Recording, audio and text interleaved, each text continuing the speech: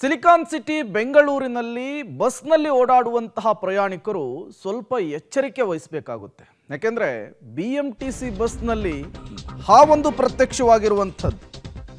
Bus ಹಿಂಬದಿಯ ಗ್ಲಾಸ್ನಲ್ಲಿ ಹಾವು ಪ್ರತ್ಯಕ್ಷವಾಗಿದೆ. ಬಸ್ನಲ್ಲಿರೋರನ್ನ ಇದು ಗಾಬರಿಗೊಳಿಸ್ಬಿಟ್ಟಿದೆ. ಹಾವನ್ನು ಕಂಡು ಗಾಬರಿಗೊಂಡಿದ್ದಾರೆ ಪ್ರಯಾಣಿಕರು. ಹಿಂಬದಿಯ ಗ್ಲಾಸ್ನಲ್ಲಿ ಹಾವು ಸಿಲುಕಿಕೊಂಡಿದ್ದನ್ನು ನೋಡಿದ್ದಾರೆ. ಡಿಪೋ ಇಪ್ಪತ್ತೊಂಬತ್ತರ ಬಸ್ನಲ್ಲಿ ಹಾವು ಕಾಣಿಸಿಕೊಂಡಿರುವಂಥದ್ದು. ಇದು ಪ್ರಯಾಣಿಕರನ್ನ ಒಂದು ಕ್ಷಣ ಕಕ್ಕಾಬಿಕ್ಕಿ ಆಗುವಂತೆ ಮಾಡಿಬಿಟ್ಟಿದೆ.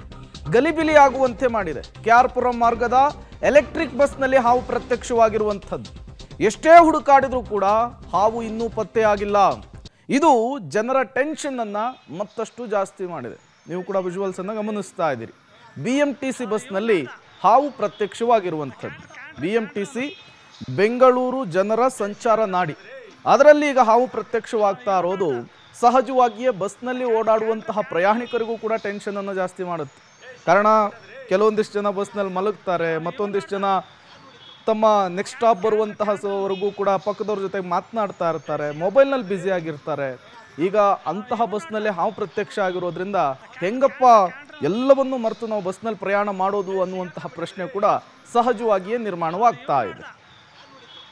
ಕ್ಯಾಂಟ್ರ್ ಕ್ಯಾಂಟ್ರ್ ಕ್ಯಾಂಟ್ರ್ ಅವನು. ಏ ಸಿಗಾಕೊಂಡ್ಬಿಟ್ಟದ್ರಿ